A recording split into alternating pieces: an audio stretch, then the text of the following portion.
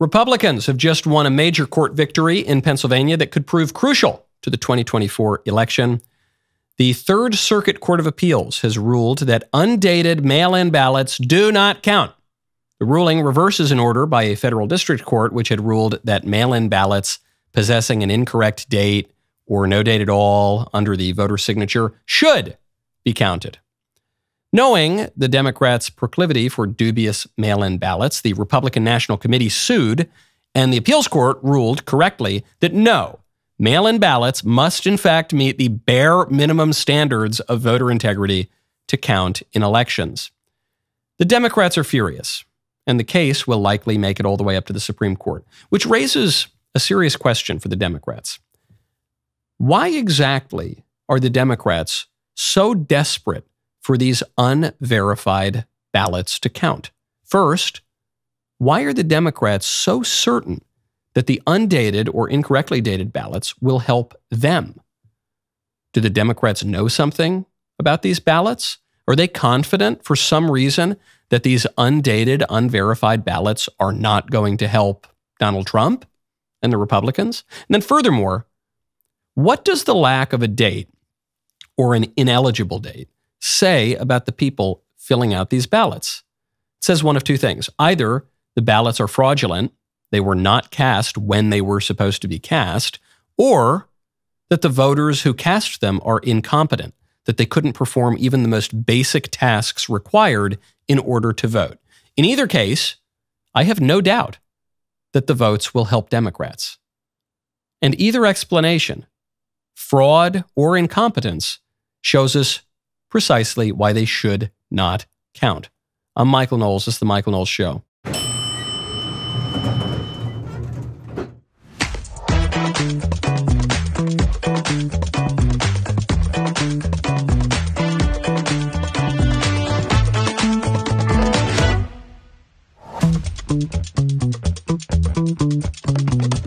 Welcome back to the show. There's a new report out that the CIA is going that is really upsetting. I think of the CIA, I think of Felix Leiter, you know, in the James Bond movies.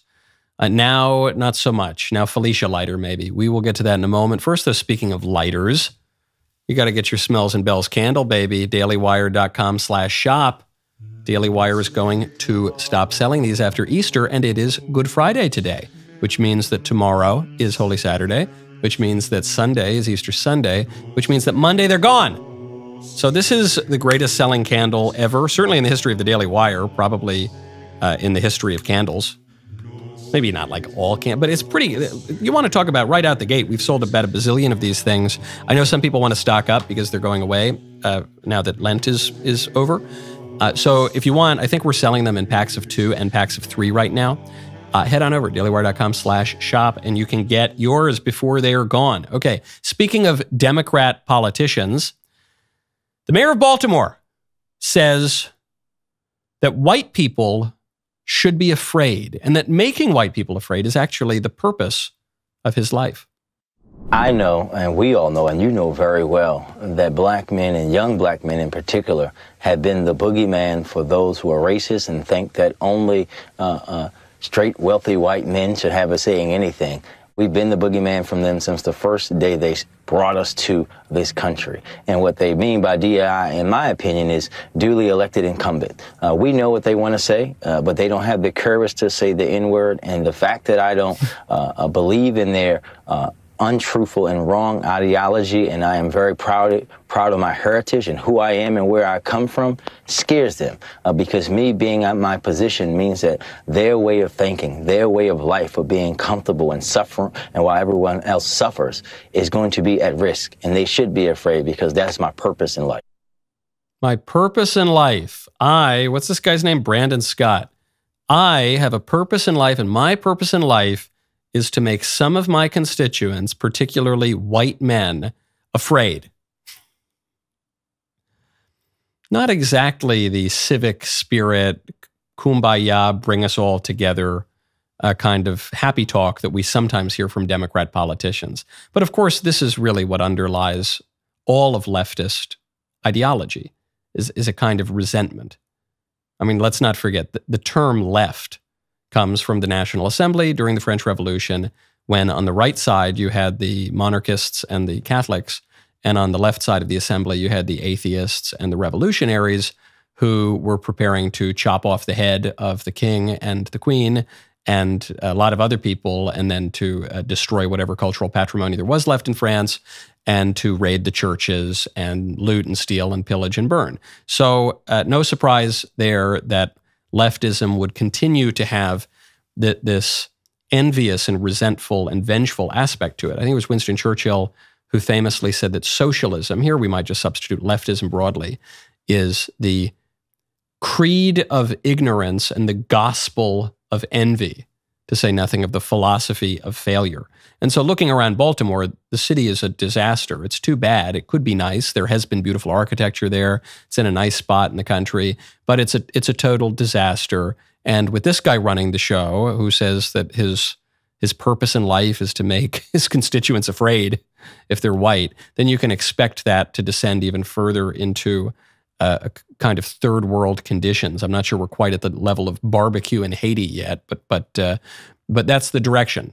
That's the direction that these guys are headed because what, what he's articulating is is not only an indifference to the common good, which is supposed to be the uh, chief concern of civil servants, of of statesmen, but actually a hostility toward the common good and a preference for uh, selfishness and for, for private interest over the common good uh, so that he can plunder and terrorize some of his constituents for a, a, smaller interest group. Now, speaking of America's cities, things are not only bad in Baltimore, they're also bad in Los Angeles, they're bad in San Francisco, and they're bad in New York City right now in particular. And having been a New Yorker for a lot of my life and uh, having been, grown up in New York and lived in state of New York and in the city of New York, I can see it when I go back and visit. Things are getting a lot worse over there, and that's particularly true when it comes to crime. And and the, the New York's police department is one of, if not the best police departments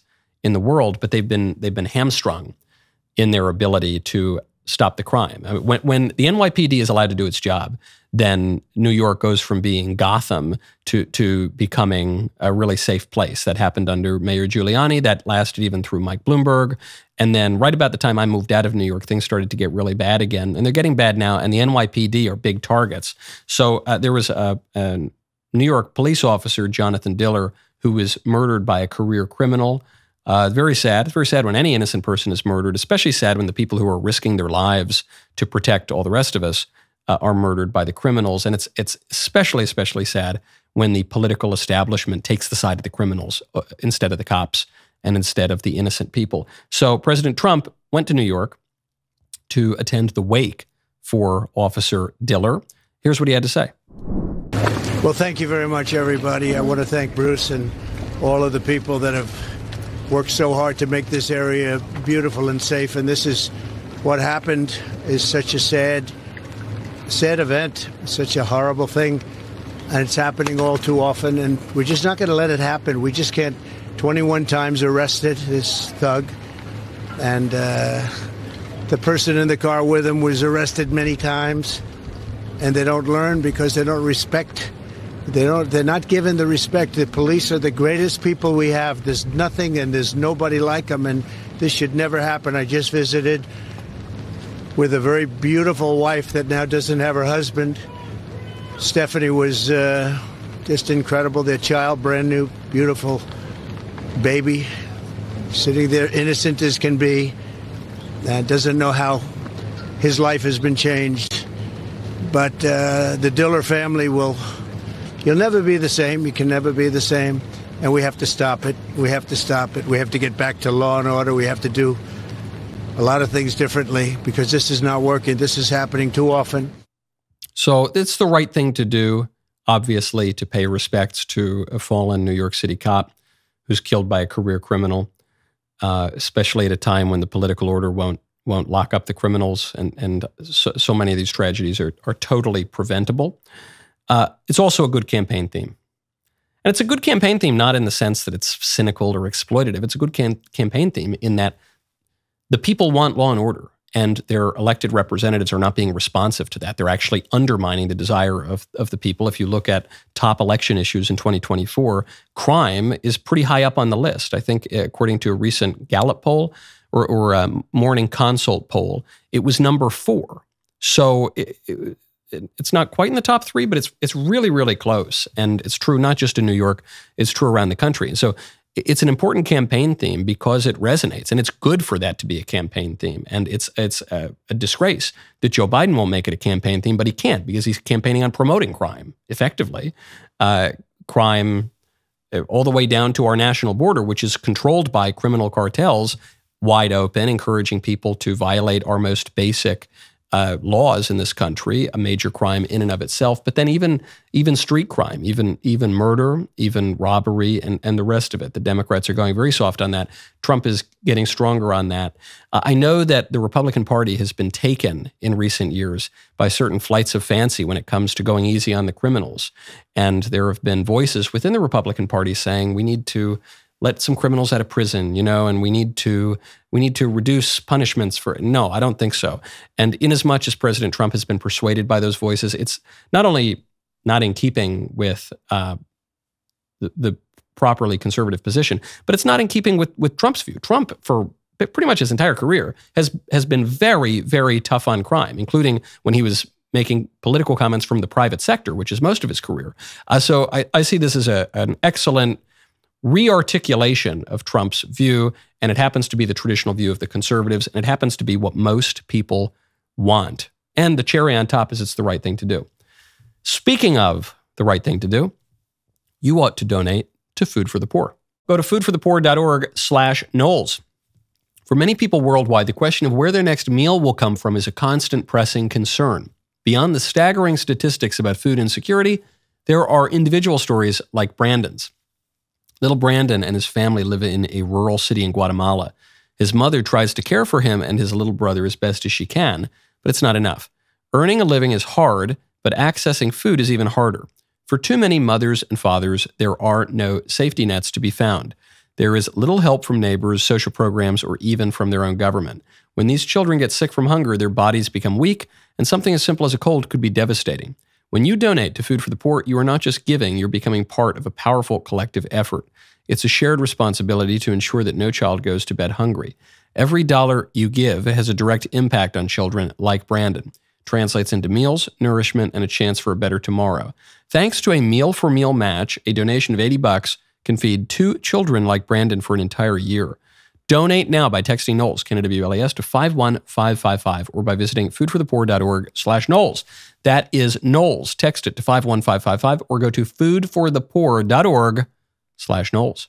Now, turning to major issues and keeping on the theme of violence, there's a new Gallup poll out that shows that most Americans disapprove of the war in Gaza. Uh, this is a shift Back in November, Gallup found that 50% of Americans approved of Israel's actions in Gaza, while 45% disapproved. 4% said they had no opinion on the war. So even then, it was a somewhat contentious issue, but uh, half of Americans, and certainly a plurality when we're talking about the, the three opinions expressed, uh, said that they supported Israel's actions. Ma- makes sense in November. I'm actually surprised the number wasn't even higher. This is in November, right after this horrific attack by Hamas on Israelis, uh, killing well over a thousand and committing all sorts of crimes, and then taking a lot of hostages back to Gaza. So that was in November. And it's it's amazing because I, in my mind the war has only been going on for a couple of months, but no, it's been going on at this point for what six months. At this point, uh, public opinion has changed. Fifty-five percent of Americans say they disapprove of Israel's military action in Gaza. Only thirty-six percent say that they approve of it. Now, what does this mean for Israel's conduct of the war? And more importantly, for our purposes as uh, an American political program, what does this say for how America ought to feel about it? The biggest issue when it comes to the, the conduct and continuation or cessation of the, the war in, in between Israel Palestine is not just public opinion, because public opinion can be wrong. And we, we don't base our judgments of right and wrong, we don't base our, our understanding of justice on consensus. The, the people can be wrong. The biggest issue I see here is, is a news report that comes along with these bad numbers. And the news report coming from the Telegraph says that Israeli intelligence is now admitting that it might not be able to destroy Hamas. This is the biggest change, I would say. And uh, this is probably feeding into why public opinion has shifted. Uh, probably the lengthy duration of this war now is feeding into why public opinion has shifted. So much so that even President Trump is saying it's time for the war to wind down. But I haven't heard a clear articulation of why the war now all of a sudden really should wind down. The reason comes down to proportionality and the reasonable probability of success. It comes down to a concept that is not discussed nearly enough these days, which is just war theory. Some people, you know, I don't know, the kumbaya hippies or something, they say, there's no war ever, man. War is terrible all the time, man. Give peace a chance, man. Pass the bong. And that, that is not a, a serious view, and it's not a moral view. We have no moral obligation to allow the cruel to rape the earth, for instance. We, we have a natural and correct inclination to defend ourselves.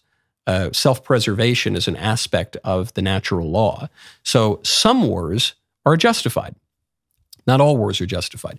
And it's even more complicated because there is justice in going to war, and then there is justice in the conduct of war. And those are separate questions. A, a country could be justified in going to war, but then not justified in its conduct of the war. So, on the two separate questions, the first one is did the state of Israel have a right to go to war in Gaza? I think most people would agree, yes, it obviously did. After this major attack by the government of Gaza, which explicitly in its charter says we want to wipe out the Israeli state, and then they go in and they kill and maim and take as hostages a number of civilians, uh, very few people would disagree that Israel had a right to go to war. Then the question over the last six months is does the state of Israel have justification in its conduct of the war. This has been much more contentious. There have been strong arguments on both sides. But I think many people would say yes. The, the goal of the war is to get rid of Hamas. The Hamas leadership in Gaza is an unacceptable security risk. And so they are justified in conducting uh, the war even from the perspective of proportionality. Proportionality is misunderstood. A lot of people bandy that word about. And, and they seem to think that proportionality means one side kills one guy and then the other side kills one of their guys. That's not what proportionality means. But what proportionality does mean is that you are not using excessive violence to achieve the aims of the war. So the, the war has an objective that you're, you're trying to achieve. And so you're in war, innocent people are killed. That is basically inevitable. But it means that you're not uh, using excessive violence that will not further your aims. And a related concept here is the reasonable probability of success. So if Israeli intelligence is now saying, as it, according to reports, that it will not be able to wipe out Hamas from its control of Gaza, then the war has to end. Then then it, it, it's not even clear what the goal of the war is. Then the criticisms that the state of Israel is, is not being proportionate in its carrying out of the war are justified. If is, the state of Israel says they can wipe out Hamas from the government, then you might say the war continues to be justified, although debate would continue to range. But, but if this is the case now, and, and why, by the way, why is Israeli intelligence, according to reports, saying that it, it can't wipe Hamas out of Gaza? They're saying it's because the U.S., which is the, the most prominent sponsor of the state of Israel and especially of of the Israeli military. I think we fund six and a half percent of it. Be- if the American people have turned against it, the state of Israel is saying, well, now we can't achieve our goals. And maybe that's the case. And maybe you say, well, that's wrong. And the American people shouldn't have turned against the state of Israel. And uh, uh, actually, you know, if we just, you know, run another ad campaign or something, maybe public opinion will swing back and, and that way they can wipe out Hamas. I don't, whatever the explanations are, what, whatever one's opinion is of that. If that is the case, then the war has to wind down because there is no, no longer a reasonable probability of su- success at achieving the war's aim. If, if the war's aim is taken off the table, then, then uh, obviously the violence is excessive vis a vis the goal of the war, because the goal of the war, we now say, is totally out of sight. So uh, this is happening. Whether you want that to happen or not, both political parties are turning again in the United States are turning against the war in Israel. Israeli intelligence is saying that without America's full throated support or thereabouts, they're not going to be able to achieve their war aims. Okay, that's the end of the war. If you find a hole in my logic, please let me know. But until any of the, I, I think even as the the Israeli sources are basically coming to this conclusion. So, uh, if the war continues to go on, which it seems in the interest of uh, Prime Minister Netanyahu and the Israeli government for it to continue to go on, that's going to continue to be a major issue in the 2024 election as well. And it's one of these strange ones because now all of a sudden, just within the last couple of days, President Trump has said it's time for the war to wind down. So you've got a, a, an odd issue where Biden and Trump seem to be in agreement. And President Trump, who's the most pro Israel president ever in my lifetime, they named a town after the guy in the state of Israel, would seem to be at odds with the government there, the Netanyahu government, which is already on shaky grounds, and where, where one cannot even articulate, it seems, a goal any further for that war. Might come to an end soon. Now, speaking of things that are potentially nuclear, I suppose that war could, could potentially go nuclear, the Washington Post is celebrating the demise of the nuclear family, which is very, very unfortunate. Probably speaks to a lack of education, oh, and a lack of patriotism over in the left wing newspapers. So when we want to turn that around, we got to get educated. You got to check out PragerU. Is America doomed? A majority of Gen Z supports left wing policies like open borders and socialism. If we don't reach them and change their minds, the country that we know and love will be lost forever. PragerU is the leading nonprofit when it comes to influencing young people. Their educational, entertaining, pro American videos meet young people where they are and open their minds to the truth, but they need our help. Go to prageru.com, make a tax deductible donation. Whatever you give right now will be tripled and have three times the impact. Donate 10 bucks, triples to 30. I'm no math major, but I, am pretty sure that's what it comes out to. You give 100 bucks, let's see, you carry, carry the four out of five, that triples to 300. PragerU is 100% free to everyone, no fees, no subscriptions. They don't rely on ads or clickbait headlines. Contrary to what the libs say, PragerU is not funded by a handful of billionaires. It's funded by people just like you. To keep making great content, reaching millions and changing minds, PragerU needs our help. Go to prageru.com to donate today. And then you can check out my five minute videos over there, as well as the book club with Michael Knowles, my show over at PragerU, prageru.com today. My favorite comment yesterday is from Phil Vetta, who says, All I want to know is, did Diddy do it or did Diddy not do it? That's the question, I think. It's one that has uh, bedeviled philosophers for many, many days now. Did Diddy do it?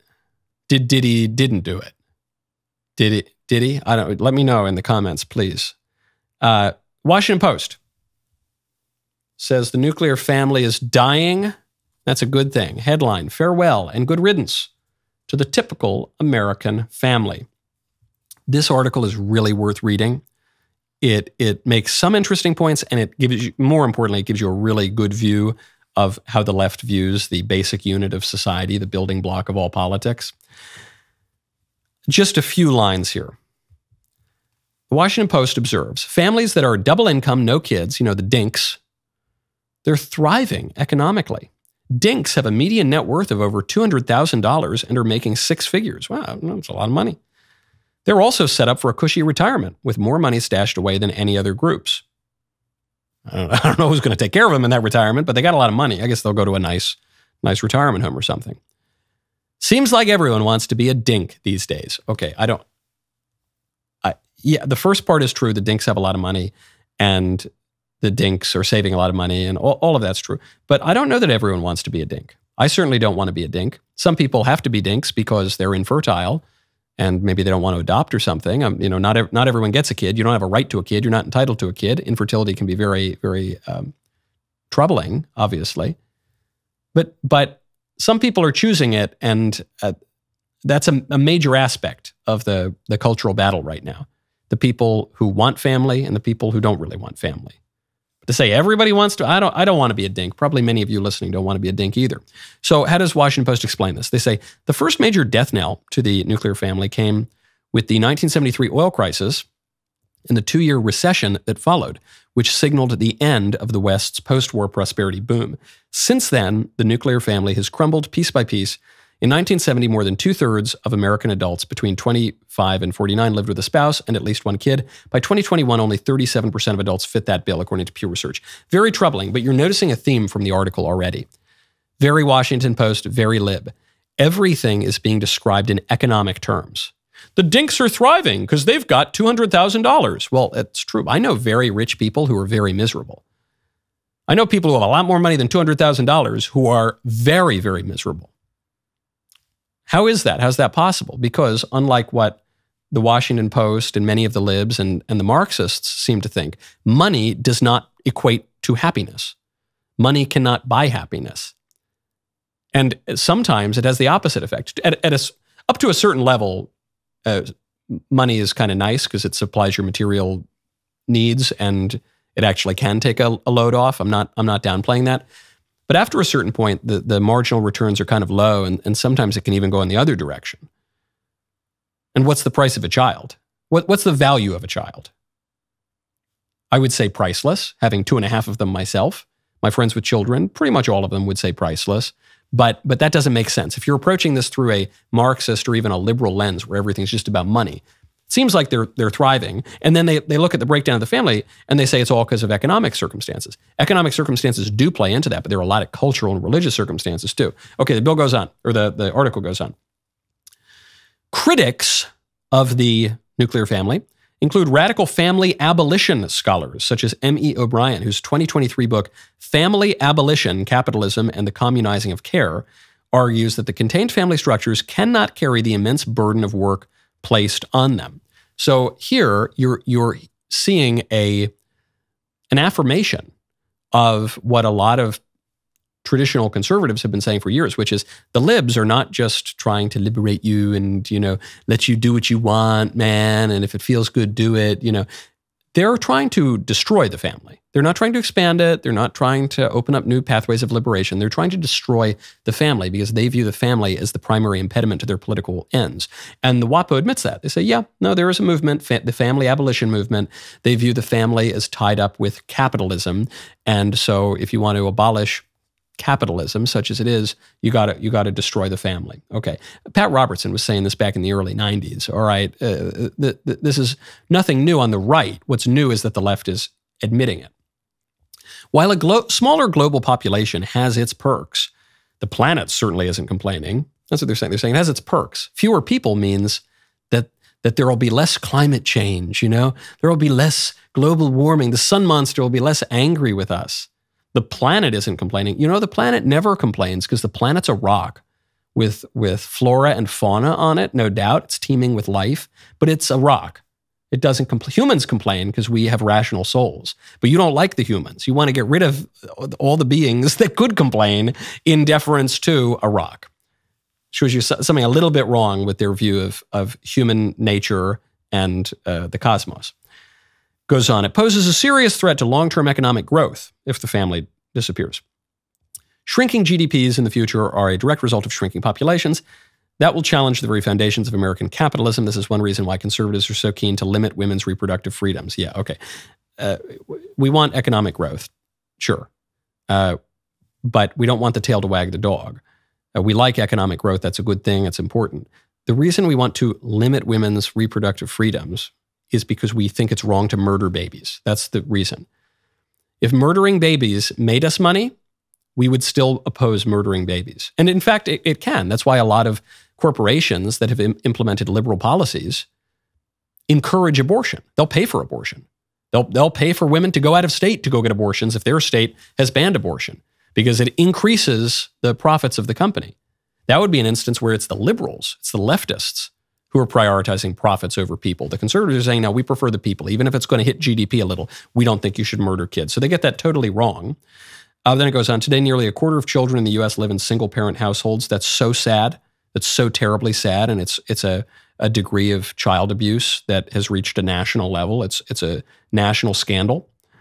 Uh, the pandemic invigorated people's desire for collectivism and community. Okay, keep put that word aside for a second. Put a little bookmark there. Collectivism. Rather than, this is how it concludes, rather than changing families to be more like society, this vision of the future imagines a society that's more like a big supportive family. Okay. It's a really worthwhile read because it shows you how the left, they, some of their desires are good. Probably all of their desires have some good aspect to them. They just get so perverted. They get, I, I agree with the left that we don't want to make an idol out of capitalism or GDP. I totally agree with that. I agree with the left that it takes a village to raise a child because we're the social creature. So we're not just isolated living in outer space as individuals or even as a nuclear family, but we're embedded within extended families and embedded within generations and embedded within a community. I agree with that. But there's a big difference, a big, big difference between collectivism and community. There's a big difference between the, the state controlling a bunch of atomized individuals who are in a hodgepodge of bizarro sexual relationships and and largely choosing not to have kids because they they just want to pursue their own financial and economic uh, frivolities, and the the extended family, the real family, the organic communities that crop up. In one, it's an ideological contrivance. What the left is pushing for is just pouring acid over society and all of the intermediating institutions of society. Uh, from states' rights to local government rights, all the way down to the family, from voluntary civic associations to, to natural and organic uh, communities like churches and, and other groups. They want to pour acid all over that. Parochial schools, private schools, home schools, pour all that, and, and just then uh, pull it all back together uh, in in a contrived, uh, highly centrally controlled way. The collective with a capital C. That's not community is great. Community is totally natural, and you're born. In fact, you are born into a community. All of us. We're not born as individuals. We're born into a community. The first community is the family, and there are extended families, and it's good to get the wisdom of generations and the wisdom of your neighbors and so on. And the state is a natural institution too. But with the libs, they I always want to just totally flip it. No surprise then. They say good riddance to the nuclear family. I would say we want the nuclear family. You don't want to destroy the family, but you want it to be embedded within bigger families and the tribe and the community and the state and the country. They want to do the opposite. They, they, they don't want to keep growing out from there. They want to destroy the family as that last stumbling block.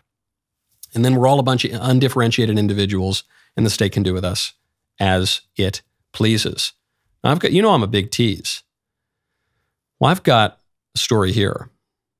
The CIA is embracing. This is, speaking of weird sex stuff, Cliff Sims, who served as Deputy Director of National Intelligence under President Trump, he has a new book out. It's called The Darkness Has Not Overcome Lessons on Faith and Politics from Inside the Halls of Power.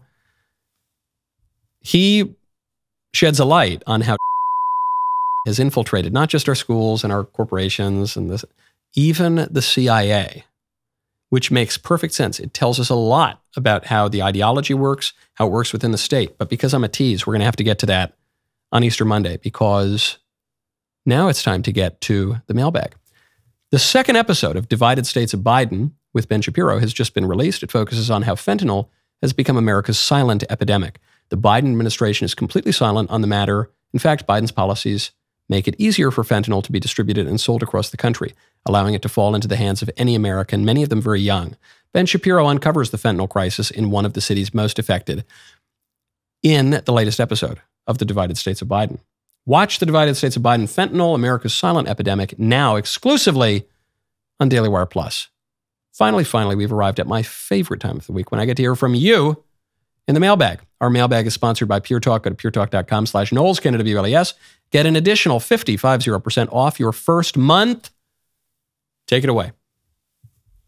Dear Michael Knowles, I'm a Christian conservative and I love your show. You've been a huge inspiration to me, and I'm so glad we have political commentators as honest as you. I know you're a practicing Catholic, and your arguments supporting this denomination have deeply impacted me.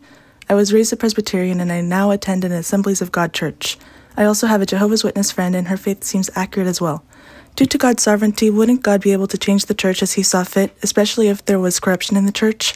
I know your argument for Catholicism rests on its history, but I would think that God could change the church if he thought it fit to do so. Also, what are your thoughts on Jehovah's Witness? I really like their faith because of, uh, they attend to biblical accuracy. Uh, thank you so much for listening, and I hope you have a great day. Happy Friday. Really? Good Friday. Good Friday, that's right. A really good question. God, of course, can change the church and necessarily does help the church to grow and promises always to be with the church. That's what our Lord promises us in the Gospels. But I think that, ironically, that would be one of my chief defenses for the Catholic Church uh, is that there, there's corruption in the church. There are all sorts of there. There have been bad popes. There have been all there's. I mean, to quote Hilaire Belloc, uh, he had to he has to take the Catholic Church to be divinely instituted as a matter of faith. But one evidence of it for the non-believer is that no other institution conducted with such knavish imbecility would have lasted a fortnight, much less two thousand years.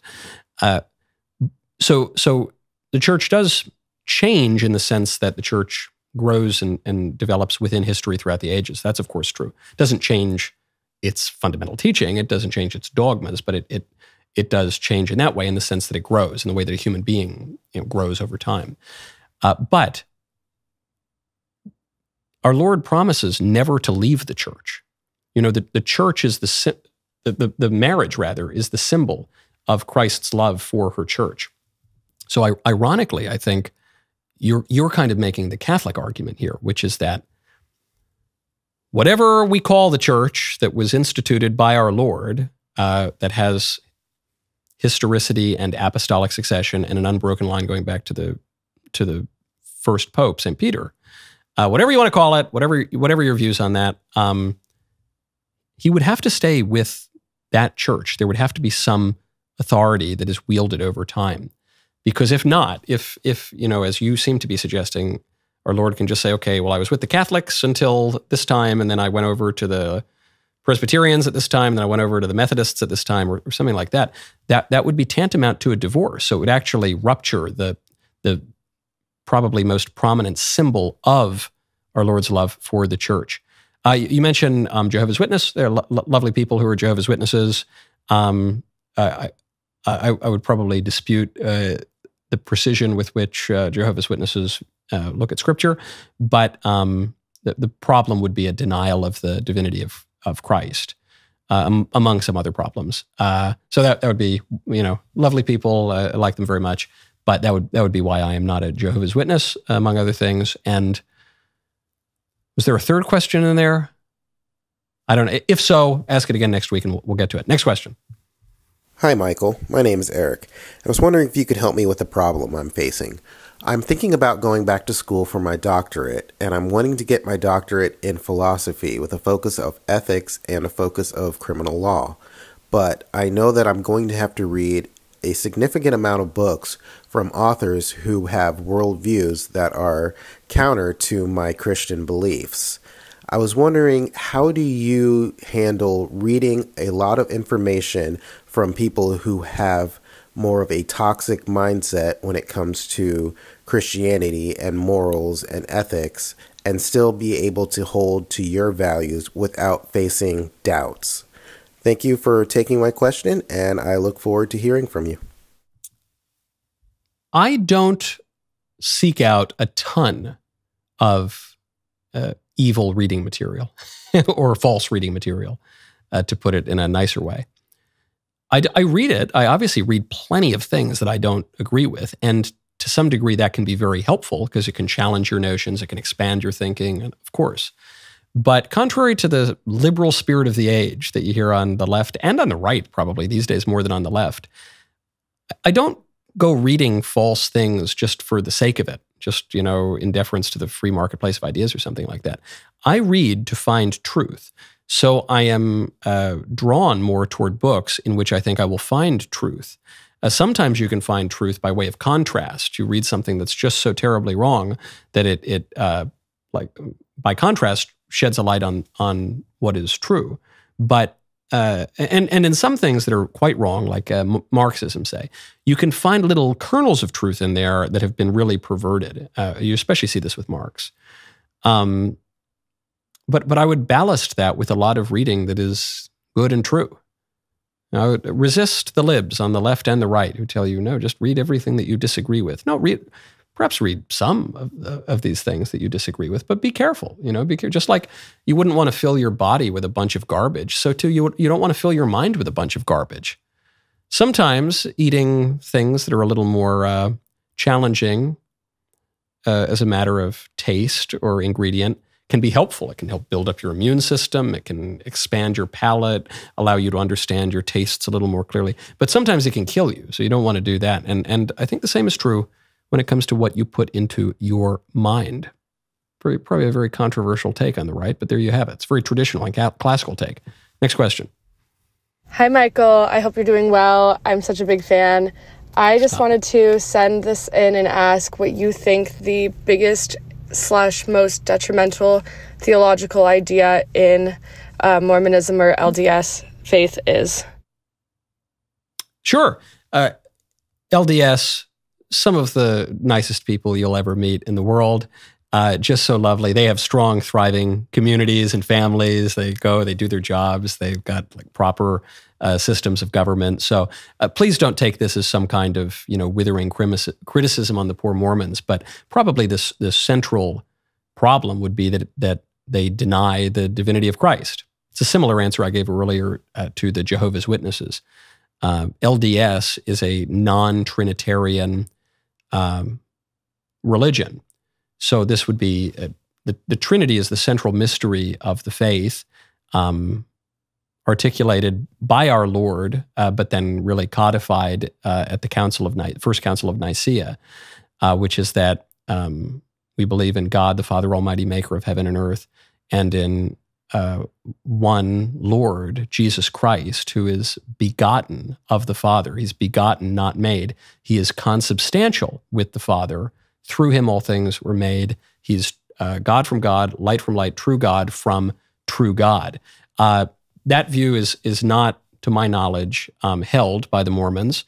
Um, that that uh, the the Son is subordinate to the Father, and uh, there are other aspects to that as well. But in any case, it's not the uh, it's not the Trinitarian view. There are other sects like this. There is a at least one major Pentecostal sect that is non-Trinitarian. Obviously, the Unitarians are non non-Trinitarian. So that the central mystery of the faith that uh, God is one, uh, distinct in Father, Son, and Holy Ghost, but but also one and of one divine substance. That's the central mystery, and so that would be that would probably be the chief uh, stumbling block that one would have with LDS. Though uh, uh, they, they they conduct themselves in public so wonderfully that you know I don't I don't really uh, I don't want to knock them all all too much. Uh, but while we're here in theological disputes and we're just discussing, uh, you know, the faith itself and not not just the um, external effects of a certain culture, that would be it. Next one. Hey, Michael, my question's a little bit taboo, but I think your young adult audience really needs to hear it. I'm a young adult. A lot of my friends have made choices that they now regret, specifically having premarital sex. As we are walking into marriage, a lot of us have fiancés and are married and we look on our paths, we tend to feel shame and frustration at our former selves for making choices that we now regret. Um, much of us have gone to church and asked for forgiveness, but it's become really hard for those of us to forgive ourselves for choices that we can no longer go back and reverse. So, my question to you is Do you have any advice for young adults who have a hard time forgiving themselves for choices that they made in the past, specifically premarital sex? Sure. I'd say go to confession and uh, then you will be absolved of your sins, and if then your sins are forgiven, and that's it. If God forgives your sins, then we ought to forgive people's sins too. That's about it. I, am not saying that there aren't temporal effects that come as a consequence of sin, but you know, all sin and fall short of the glory of God, and uh, it's a fallen culture that greatly encourages premarital sex. So I guess the first thing you would do is stop the behavior. You you bring up if someone's engaged. If you're engaged and you've been you know been, been doing that, but then you realize actually that's not a good thing to do, then just stop. Stop until your wedding. I don't know when your wedding is, but you know if, if you're engaged, it's probably not that far into the future. Just stop. That's the first thing. If you're going down the wrong path, then the first thing to do is stop. Then you turn around, then you go down the other path. And if you did all sorts of bad things when you were young and dated around or whatever, and then you've had a different idea, okay, well, one, be grateful that you've turned it around. That's a wonderful thing to be grateful for. And then, uh, then uh, the reason I recommend sacramental confession, I know not everyone uh, believes in that, but uh, it, in in my view of things, it gives you uh, a certainty that that an authority has been promised to uh, the apostles and the successors of the apostles that they have the power to forgive and to retain sins and that this is a real you know power in a visible church. And so it's not that you can't confess your sins to god and it's not that god can't forgive you when you confess your sins in your head to god but it's it's an assurance in in case you lack perfect contrition which which most of us do most of the time so i would do that and and there's a psychological aspect here which is not just, even if you don't really believe in the sacraments or something like that I recommend that you do. But, but even if you don't, there is just something psychologically very um, comforting uh, in the real sense. You know, it gives you strength to say, no, it is objectively the case that your sins have been forgiven. Go forth and sin no more. Know, all of us commit sins. I mean, if we just focused on that, the devil wants us to focus on that all the time, and then you can't do anything, and you live a miserable life. And uh, but you know, ho- hope is a not just happy thinking; it's a theological virtue and a, and a demand. So uh, do that. That's what you should do. Okay, we have more voicemail bag to get to. We have more written mail mailbag to get to, and we have Fake Headline Friday. The rest of the show continues now. You do not want to miss it. Become a member. Use code Knowles, Canada BLES, at checkout for two months free on all annual plans.